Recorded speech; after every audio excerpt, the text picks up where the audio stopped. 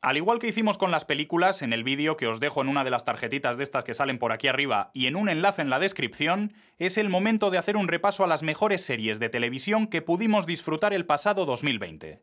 Así que durante los próximos minutos os invito a acompañarme en este top 10 elegido democráticamente por la redacción de Spin-off. ¡Vamos a ello!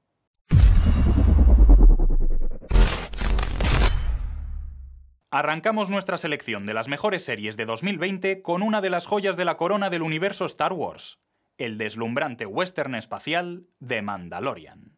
Lo que John Favreau y Dave Filoni nos han regalado a los fans de Star Wars con The Mandalorian no tiene precio. El viaje del héroe lobo solitario y su cachorro, protagonizado por Pedro Pascal y un entrañable animatronic verde, nos ha llevado por toda la galaxia apretando las teclas correctas en todo momento. Si bien es cierto que es algo formulaica, lo cual es un mal menor cuando hablamos de mega franquicias, esta fórmula es como la de la Coca-Cola. Funciona, refresca y satisface nuestra necesidad de droga marca Star Wars a través de un western memorable. Nuestro número 9 lo ocupa el genial drama romántico en forma de miniserie Normal People. Íntima, carnal y emocional. Estos tres ingredientes han hecho de Normal People una de las revelaciones de 2020. Las excelentes actuaciones de Daisy Edgar Jones y Paul Mescal sostienen todo el peso de un drama romántico que, si bien se apoya en un tropo del género como el de la chica inteligente pero algo inadaptada enamorada del atleta del instituto, logra sobreponerse a ello para poco a poco ir calando sin que te des cuenta en cada fibra de tu ser. Más que un drama para ver, es una serie para experimentar. En el número 8 tenemos una de las grandes series españolas del año, Veneno de Javier Calvo y Javier Ambrosi. Los Javis han adaptado junto a Valeria Vargas las memorias de Cristina Ortiz, más conocida como La Veneno, en la que es su obra más profunda y madura. Veneno recontextualiza las apariciones del icono protagonista en la televisión de los 90 y huye de la nostalgia y la memoria emocional para centrarse en una tragedia humana, tratada con un brillante equilibrio de lirismo visual y desparpajo costumbrista a medio camino entre la magia de Big Fish y el peculiar colorido de Almodóvar. Los vampiros más cachondos de la televisión se han adueñado de nuestro número 7 con la segunda temporada de Lo que hacemos en las sombras. Bajo la batuta de Paul Sims, la segunda temporada de Lo que hacemos en las sombras apuesta por el más y mejor respecto a lo que pudimos ver en su también excelente primera entrega. Algo más centrada en el trabajo de Guillermo como cazador de vampiros, las risas no han hecho más que crecer a lo largo de 10 episodios entre casas encantadas, acontecimientos deportivos, maldiciones vía email y muchas más situaciones tronchantes. Puede que el Jackie Daytona de Laszlo y la muñeca malrollera Nadja sean de lo mejor que nos ha dado este 2020 televisivo. En el número 6 tenemos el true crime más mediático y viral del año pasado. Estoy hablando, por supuesto, de Tiger King. Si no lo veo, no lo creo es una expresión que define a la perfección muchos de los documentales que han hecho más ruido durante los últimos años. Pero se queda corta cuando hablamos de Tiger King, una auténtica locura difícil de creer y de olvidar. Este True Crime de Netflix lo tiene todo giros inesperados, sorpresas, emoción, un surtido de personajes increíbles que incluyen capos de la droga, estafadores o líderes de sectas, y mil y un giros que no se ven venir y que te mantendrán pegado al sofá casi sin pestañear. Apasionante. La mitad de nuestra tabla la ocupan Jason Sudeikis y la excelente comedia deportiva de Apple, Ted Lasso. Más que una serie de televisión, Ted Lasso es un auténtico regalo. Una delicia ambientada en el mundo del fútbol en la que el deporte rey termina siendo lo de menos, quedando eclipsado por ese híbrido casi perfecto entre la comedia estadounidense y la británica. Por la interpretación principal de un Jason Sudeikis impresionante de principio a fin y por un tono sorprendentemente cálido que convierte la producción en la mejor terapia para sobrellevar el mundo que nos ha tocado vivir. Genial.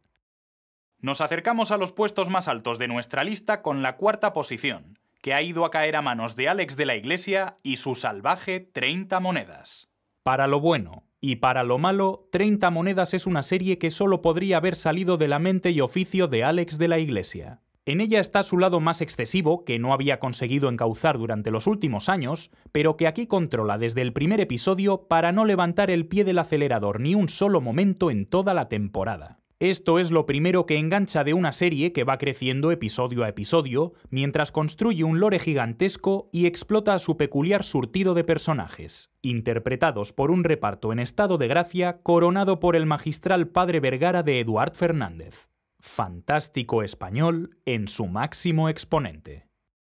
Ya hemos llegado a nuestro top 3, y la medalla de bronce va derecha a la sexta temporada de Bojack Horseman. Después de pasar unos cuantos años junto al caballo parlante de Raphael Bob Waksberg, muchos temían un cierre que no estuviese a la altura de las circunstancias. Pero el final de Bojack Horseman ha sido extraordinario. Este cierre deja patente una vez más que nos encontramos ante la mejor serie que Netflix ha producido hasta la fecha y una de las mejores de todos los tiempos sin tener en cuenta la compañía responsable. A su creador no le hubiese disgustado seguir algo más de tiempo con ella, pero su despedida ha sido perfecta, con un tempo impecable y una presentación narrativa y formal insuperable. Una joya. El número 2 tiene factura española y lo ocupa la descomunal miniserie de Rodrigo Sorogoyen e Isabel Peña, Antidisturbios. Cuando una serie abre un debate tan grandilocuente como Antidisturbios, defendida por muchos como la mejor serie de la historia de la televisión española, es indicativo de que estamos ante una producción de altísimo nivel. Aquí no entraremos en ese tipo de cuestiones, pero sí defenderemos la miniserie de Rodrigo Sorogoyen e Isabel Peña como un prodigio descomunal técnico y formal. Un viaje agotador a lo largo de seis episodios en el que la adrenalina bombea incesante mientras la cámara nos sumerge de lleno en la acción que compartimos con unos personajes tan despreciables como humanos. Una serie imprescindible que brilla en todos y cada uno de sus aspectos. Y en el número uno, Elevándose como la mejor serie de 2020 para la redacción de spin-off, tenemos el drama deportivo ajedrecístico protagonizado por Anya Taylor-Joy, Gambito de Dama.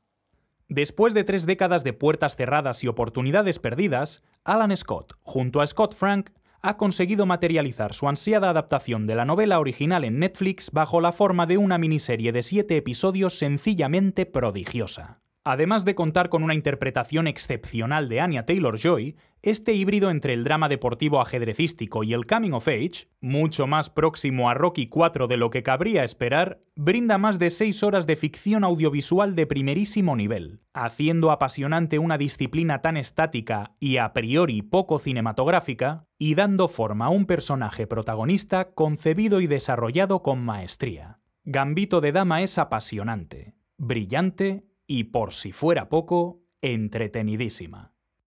Y estas han sido las mejores series de televisión de 2020 según la redacción de Spin-off. ¿Cuáles han sido vuestras favoritas del año? ¿Cuáles añadiríais a esta lista y cuáles os cargaríais de un plumazo? Contádnoslo en los comentarios mientras yo os deseo un muy feliz 2021 y me voy despidiendo hasta el próximo vídeo. Adiós. Ahora sí te has apagado, ¿eh?